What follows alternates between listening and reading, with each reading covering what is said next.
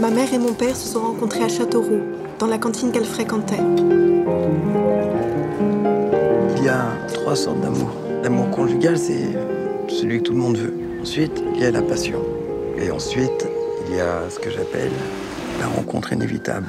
T'aimes être une femme Oui. Pourquoi? Parce que je suis à toi. Mon histoire, c'est l'histoire. Il était rentré dans sa vie. Elle ne le voyait pas en sortir.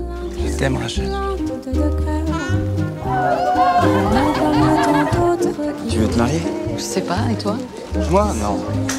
Je vais pouvoir faire ce que je veux. C'est l'histoire d'un amour éternel et banal. Tu sais, tu es enceinte, Rachel, mais ça ne change rien. Tu sais très bien que je ne t'épouserai pas, je te l'ai toujours dit. Évidemment, si t'avais été riche, ça aurait été différent. Celle où l'on se dit adieu.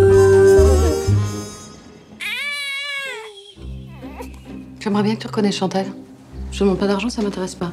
Votre fils Philippe et moi avons un bébé de 6 mois. Oui, je sais.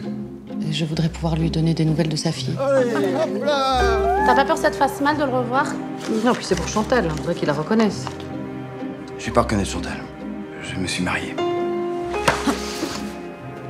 C'est trop dur la vie, elle est trop dure.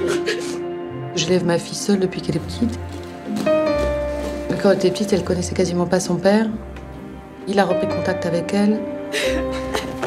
Ça fait longtemps. C'est un homme cultivé qui lui apporte beaucoup de choses. Il l'emmène en week-end. Tu te rends compte si j'avais vécu avec lui tout ce que j'aurais appris? On n'est pas une famille. Deux personnes dans une maison, c'est pas une famille Et nous, tu sais ce que c'est? C'est une passion. Non, c'est une rencontre inévitable. C'est l'histoire